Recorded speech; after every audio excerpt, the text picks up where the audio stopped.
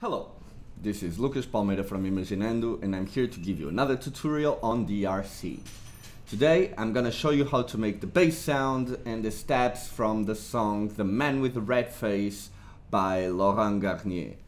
It's quite an iconic house theme from the end of the 90s, so this is how it goes. I'm gonna start by doing the bass line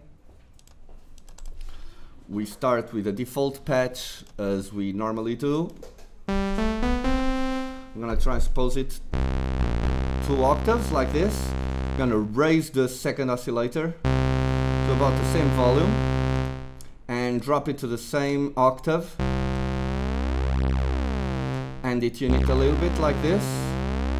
Then I go to the sub oscillator, raise it one octave as well and raise the volume of the sub oscillator.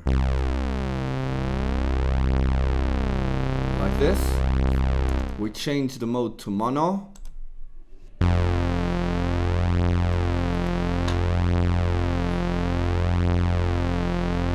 I we take the decay to maximum on the envelope, second envelope generator we do about the same thing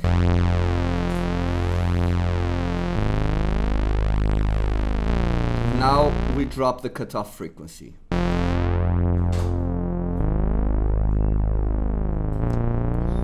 Now for a little bit of chorus.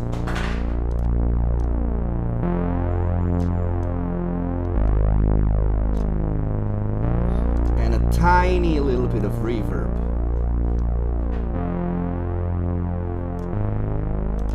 Let's raise the, the pre-gain a little bit so we have a little bit of saturation.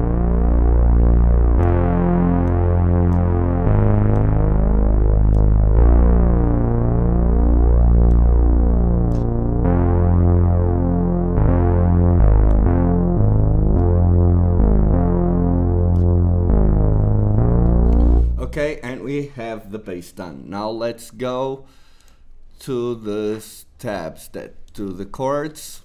For that I'm gonna raise two octaves on the keyboard. And this sound is pretty simple. So what I have to do is basically drop the cutoff frequency to about this much. Raise the sustain a bit.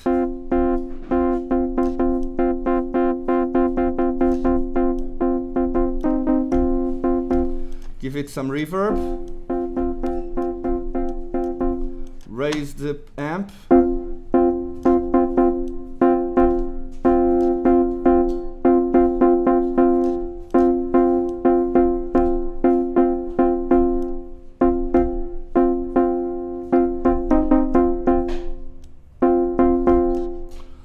Okay, and I think this should be it.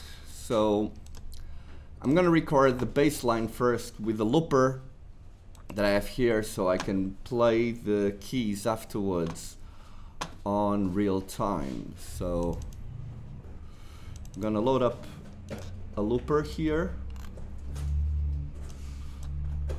with four bars and I'm gonna play it